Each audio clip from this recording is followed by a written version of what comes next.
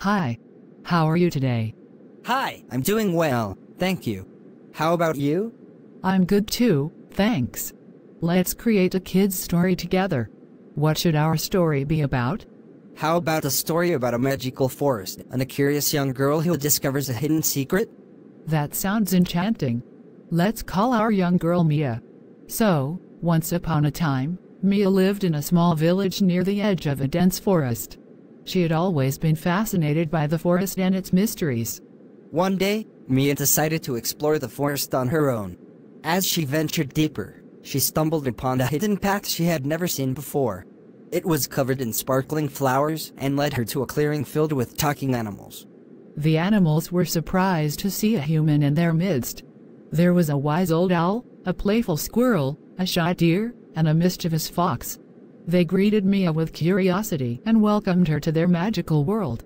Mia was overjoyed to meet the talking animals. They shared stories, played games, and taught her about the special powers of the forest. The wise old owl revealed that the forest was enchanted and only those with a pure heart could find their way to the clearing.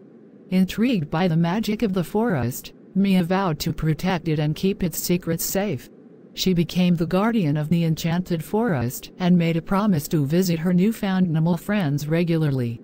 Over time, Mia learned that the forest had healing powers.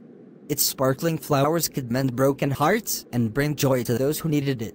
With the help of her animal friends, Mia started organizing special visits for children from the nearby village who needed a little extra happiness in their lives. The children who visited the magical forest experienced its enchantment and were filled with wonder. They laughed with the talking animals, danced with the fluttering butterflies, and felt the warmth of the forest's love. News of the magical forest spread, and people from all over came to witness its wonders. Mia's dream of bringing happiness to others had come true, and the enchanted forest became a place of solace, joy, and connection. And so, Mia's story of the magical forest and its healing powers spread far and wide, inspiring others to protect and cherish the natural world around them. Mia and her animal friends continued to welcome visitors, spreading love and enchantment to all who came. And as for Mia, she grew up knowing the true power of kindness, friendship, and the magic that lies within nature.